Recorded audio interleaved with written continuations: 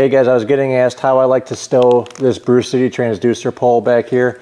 I do use a rail mount and when I put it in this rail mount here, it stops in the perfect spot every time because the Brew City mount does come with a stopping collar that's adjustable with a 3 16 inch wrench and you can move it up and down here to wherever you need it to be. I like it on this one here so that when I roll it all the way to the top of the rail, this isn't sticking through here hitting this glass. Now when it's time to actually go fishing and I get to the spot, I simply push this forward, roll it down, let that swing down, tighten this up. And if I need to use this pin to really lock it into place, that stopping collar right there is in the perfect spot. Secure that down and I'm fishing. It only takes a second.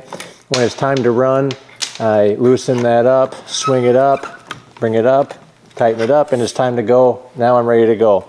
If you want a little extra support, I do add a ram claw mount right here.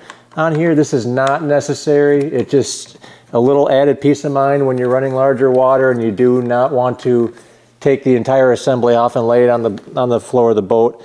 This keeps it ready to go so it just stays put in any running conditions that you can imagine. So uh, this is how I set up my Brew City pole. It's very easy to do, very easy to deploy. When I get to my spot, deploying this isn't a big burden on me and I can get to be fishing right away. So I hope that helps you guys. Check out Brew City poles and I think you'll be very impressed. Talk to you later. See ya.